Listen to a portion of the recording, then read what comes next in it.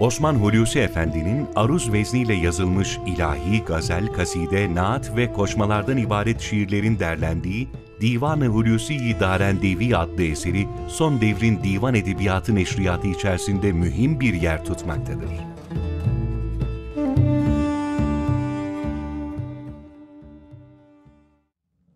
Türk edebiyatı içinde Osman Hulusi Efendi'yi farklı kılan en önemli husus divan ve tekke şiirinin bitti denildiği bir dönemde onun bu alanda şiirler yazmasıdır.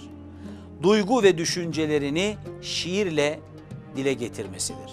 Şiirle sohbet edip şiirle nasihat etmiş ve şiirle farklı sorulara, konulara cevap vermiştir.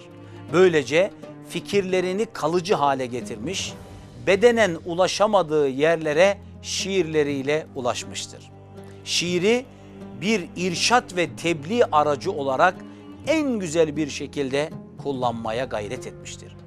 Bugün birçoğumuzun aşina olduğu besteler ve dinlediğimiz bu güzel kasidelerin birkaç beytini sizlerle paylaşmak isterim.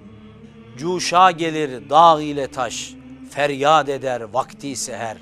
Her nesneyi kaplar telaş, feryat eder vakti seher. Ol demde gül handan olur, bülbül görüp nalan olur. Her ehli dil şadan olur, feryat eder vakti seher. Hulusi aşıksan eğer, dur yatma gel vakti seher. Bak gör ki alem serteser feryat eder vakti seher. Bir başka beytinde ise şöyle seslenir mümin gönüllere hocamız. Sakın nefsine uyup bir can incitmeyesin. Hüsnü edebi koyup bir can incitmeyesin. El ile dövseler, dil ile sövseler, bin kez incitseler de bir can incitmeyesin. Hepsi kardeşlerindir, yolda yoldaşlarındır, halde haldaşlarındır, bir can incitmeyesin.